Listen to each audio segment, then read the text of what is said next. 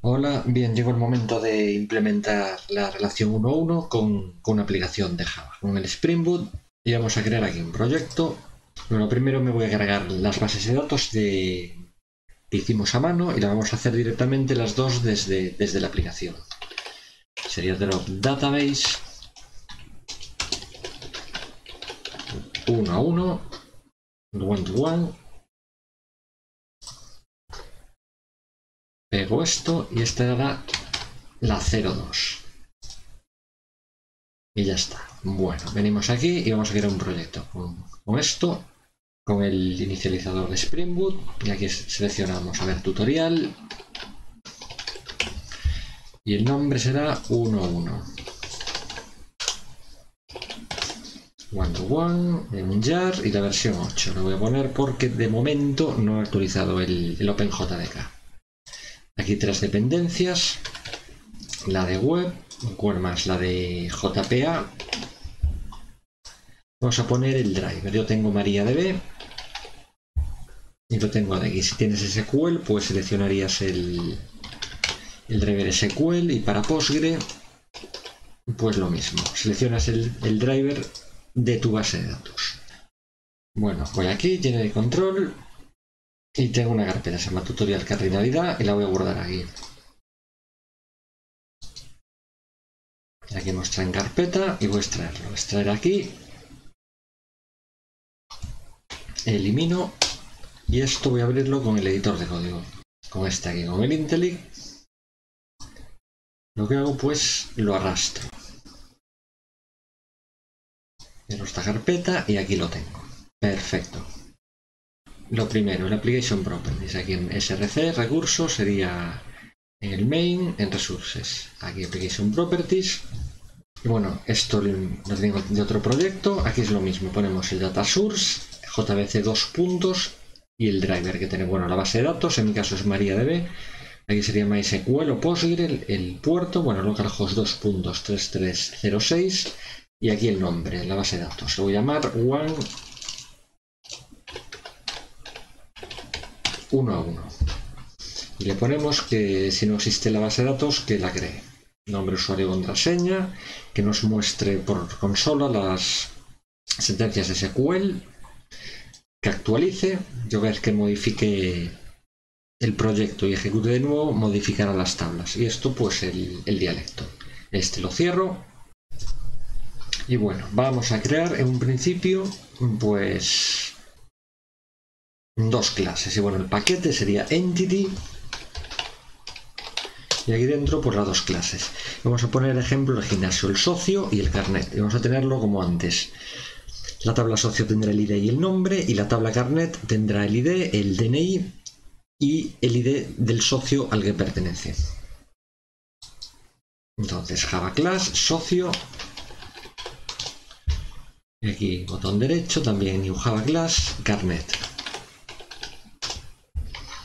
Vamos ampliando. Y bueno, indicamos que es una entidad. Entity. Ponemos el ID. Private int. ID. Punto y coma. Anotación ID. Y generated value. Esto para que sea auto increment. Strategy. Identity. Esto se lo voy a copiar ya directamente a Garnet. Garnet también es una entidad. Anotación Entity. Yo si quisiera, por ejemplo, cambiarme el nombre, por defecto nombre en la base de datos va a ser Carnet con, minúsculas. Si quisiera, por ejemplo, poner otro nombre, sería table aquí name y el nombre que sea nombre nuevo pero bueno así tal como lo tengo, me vale. En teoría, el nombre de una tabla debía ser en plural. Carnets, porque no tengo uno, tengo uno o muchos. Y lo mismo pues para socios. Por defecto el nombre de la tabla será socio, pero desde un punto de vista convencional, bueno, por convención, el nombre de una tabla debería ser en plural. Pero bueno, aquí nos entendemos perfectamente. Aquí, ¿qué más tenemos? Tenemos private string, name, Podemos poner not null, por ejemplo. Y tendríamos en Carnet, bueno, voy a copiarle, me olvidé de hacerlo, el, el ID. Importo todo eso, que sería private string DNI. Y sería not null. Y sería column, por ejemplo, unique. True. Eso es para que sea único, no haber dos DNI iguales. Y bueno, ahora comenzamos ya con el tema de, que es lo interesante aquí en este vídeo, de la relación uno a uno. Empezamos en socio. Bueno, mejor empezamos en carne porque carne sería el dueño de la relación, es el que posee la clave primaria. Sería private, un tipo de dato tipo socio, tiene un socio, le llamamos socio. Aquí pongo one to one. Voy a poner en principio cascade dipole. Con este hay que tener mucho cuidado porque esto lo borra y lo elimina todo. Pero bueno, aquí al tener una relación uno a uno, como solo tiene un registro, solo afectará al registro socio con el que esté relacionada. Entonces aquí en este caso lo utilizo, pero por lo general en one to many o many to many hay que evitar esto, puede dar problemas. Puedes acabar borrando cosas que no querrías borrar. Bueno, aquí va a tener una columna nueva. Entonces va a ser join column le ponemos el nombre. Ya hemos dicho que sería, por ejemplo, socio guion bajo ID. Y la columna referenciada sería el ID del socio, es decir, esta de aquí. Y aquí entre comillas, el nombre, ID. Por esta parte lo tenemos y ahora nos queda poner aquí. Sería private, carnet aquí one to one y mapped by. Esto quiere decir que este Garnet está relacionado con este socio.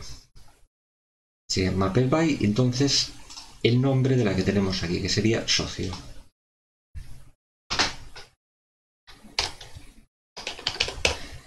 Y la clase de la relación uno a uno que tiene Mapped quiere decir que no es la dueña de la relación. La dueña de la relación uno a uno es la que no tiene Mapped.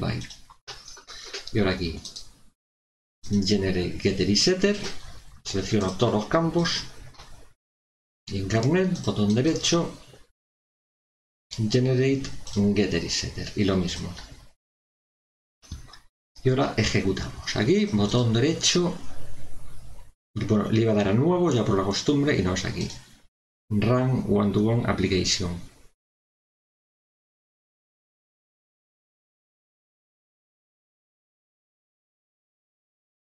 Ahí veo que me está mostrando los comandos, que está creando la base de datos y a ver qué ha pasado. Vengo aquí y voy a buscar la base de datos uno a uno, a ver si la creo. Y aquí la tenemos, carnet y socio, del diseñador. Y aquí está. Exactamente como lo teníamos. Clave primaria, DNI único y esto está apuntando aquí. Bueno, pues vamos a crear un par de registros, vamos a hacerlo, podemos hacerlo desde código y así vemos cómo funciona esto. Aquí ya vamos a crear un par de repository, es decir, aquí new package repository. Y ahí vamos a meter dos, dos clases, bueno, dos clases no, dos interfaces.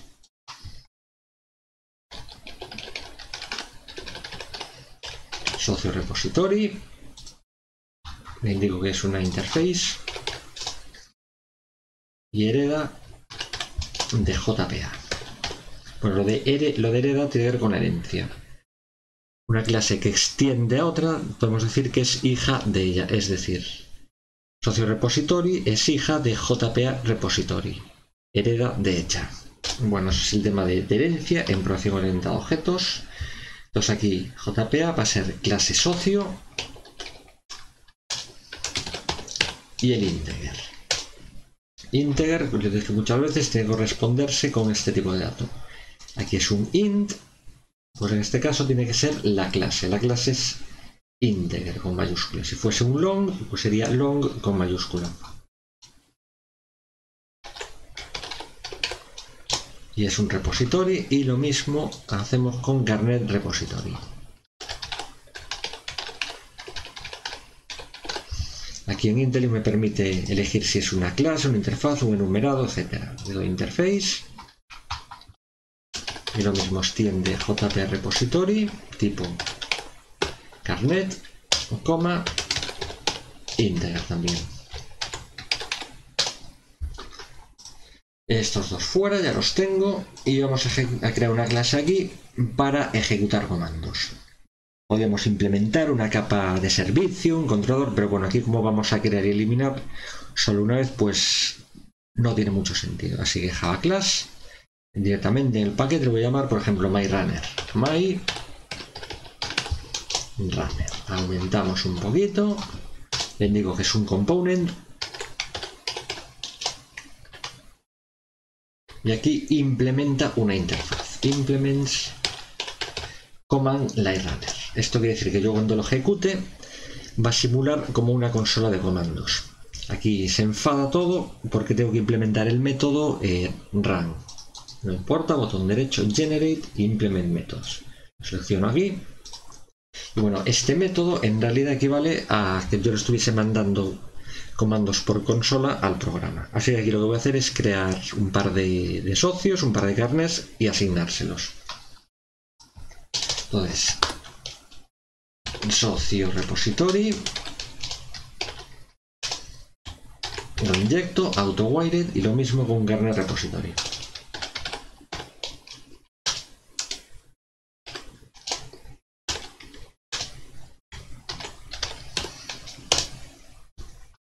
Y AutoWire. Vamos a ver, eh, socio Pepe, new socio. Y lo que voy a hacer, poner un constructor.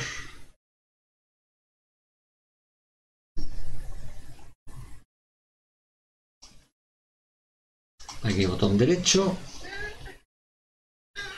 Tengo el gato maullando como siempre me pongo a grabar, maulla. A lo mejor estoy haciendo algo mal y la gata sabe más de Java que yo. Tiene el constructor con el, a ver, con el name. Y en carne voy a hacer lo mismo. Aquí botón derecho, generate constructor y con el DNI. Aquí Pepe, new socio y el nombre Pepe. Y el socio Juan también.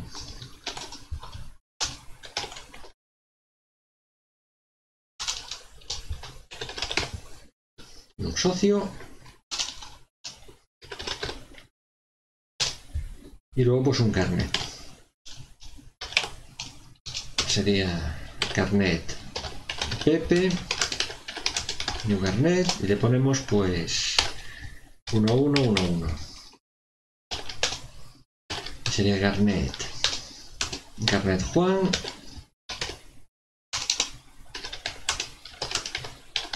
New Garnet y de nombre, de nombre no, DNI 2222. Y el carnet de Pepe, set socio, Pepe. Y carnet de Juan, set socio, Juan. Y ahora guardamos los dos carnets. Carnet repository, save, cpp. Y lo mismo para Juan. Carnet repository, save, carnet de Juan. Y bueno, como estáis viendo, solo utilizo el repository de carnet. ¿Y por qué? Pues eso es simplemente por el cascade. Yo en el momento que guardo uno, al ser cascade type all, quiere decir que es todos los tipos, tanto para guardar, actualizar o eliminar, lo hace de golpe. Y aquí como le indico que este carnet tiene este socio, a Pepe, pues automáticamente guarda a Pepe sin yo tener que llamar al, al socio repository. Vamos a parar aquí, ejecuto de nuevo.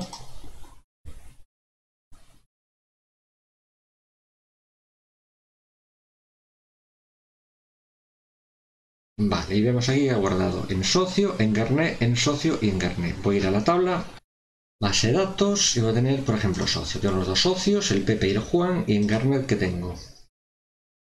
Pues tengo el ID aquí de Juan y el ID de socio. ¿Y qué pasaría si quisiera borrar a, a un socio?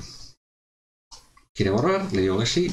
¡Pum! No me deja porque esta entidad no es la dueña de la relación.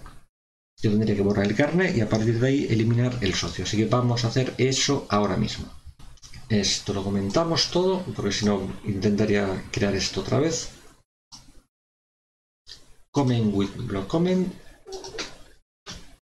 Y a ver qué más hacemos aquí. Bueno, eh, voy a tener el carnet de Pepe porque quiero borrar a Pepe. ¿Cómo lo hago? Pues fácil sería. Un carnet carnet de Pepe. Y sería socio repository find by d. Obtengo primero a, Pepe. Pepe tiene el ID número 1 find al no fin 1 correcto. Pepe es el, ID 1 y aquí le digo get porque esto es un opcional. Entonces tengo convertir el opcional en un objeto tipo carnet. Y aquí get carnet. Y digo carnet repository, delete cpp. Y recordamos, como tenemos en Cascade, yo al eliminar el carnet me cargo directamente a Pepe también. Vamos a probar, detengo y ejecuto nuevo.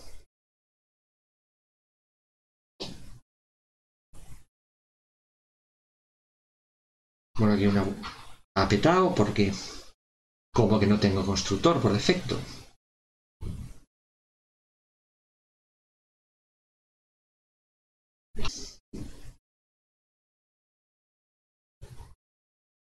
Bueno, vale. Vamos aquí, ponemos un constructor vacío. Y carne lo mismo. Aquí está el, con el DNI, generate el constructor y uno vacío. Vale, volví a hacer esto porque aquí se pone tonto el JP a veces. Voy aquí.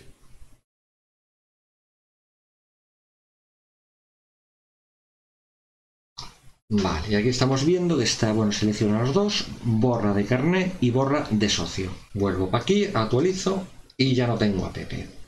Y vengo al carnet y solo tengo el carnet de Juan. Y bueno, este vídeo lo dejo aquí directamente en el siguiente pues vamos a hacer el, otro ejemplo, que sería con una tabla intermedia. Vamos a utilizar el ejemplo de, de los ciudadanos y la remesa de vacunas. Y lo hacemos ya en el siguiente vídeo. Como siempre, un saludo y gracias por ver.